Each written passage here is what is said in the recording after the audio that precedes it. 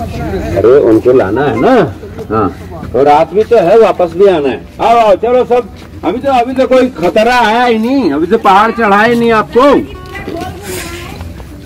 आ जाओ आ जाओ। चलो जी सीढ़ी से चढ़ो। हाँ। सीढ़ी चढ़े सीढ़ी चढ़े।